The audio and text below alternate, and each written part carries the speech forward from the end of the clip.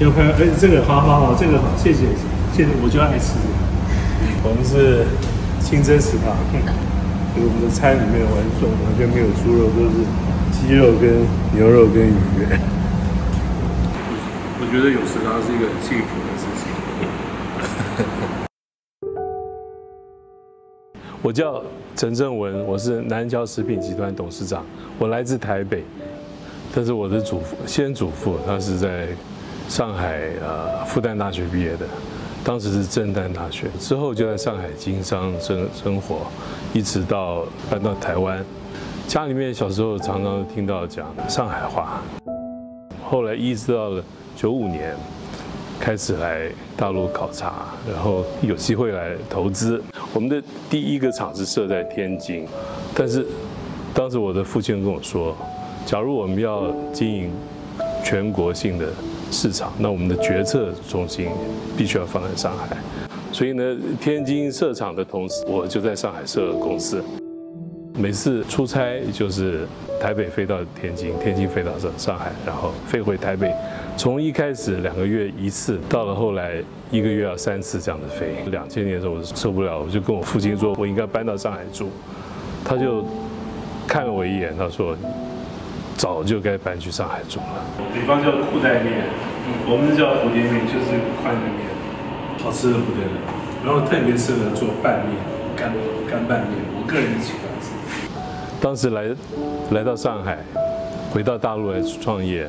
凭的就是一个信念。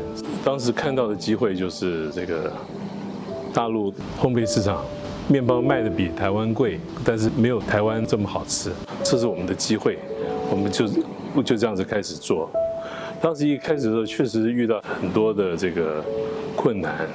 我还记得我们当时送这个低温的产品是用黄包车上面盖的棉被送的，谁能想到现在二十多年后？手机一按，二十分钟马上什么产品送到家里，这个是天翻地覆的变化。我们来到上海二十多年，目睹了市场的进步，我们非常荣幸的觉得我们也有参与在里面，也有也有贡献在里面。这是一个全世界最大的市场，然后全中国人都是非常努力、非常勤奋的。经济的成长机会是无可限量，就是这样子的信念支持了我们一直走下来，走到今天。现在回头看，我们回到大陆来投资经营是一个对的选择。随着上海的越来越开放，这几年也借着进博会，我们连续参加了三年，都有签到很大的订单。我们认为进博会对于我们公司来说是一个很好的平台。安身立命、永续经营，一直就是我们这个企业的价值观。经过多年的努力，我们在大陆市场取得了相当的成绩。今年五月，我们在上海主板上市，这不光是社会和市场对于我们经营成果的认定，更是对于我们未来融合大陆市场发展、永续经营很大的助力。我们希望和大陆。共同进步和发展，这也是我们的不忘初心。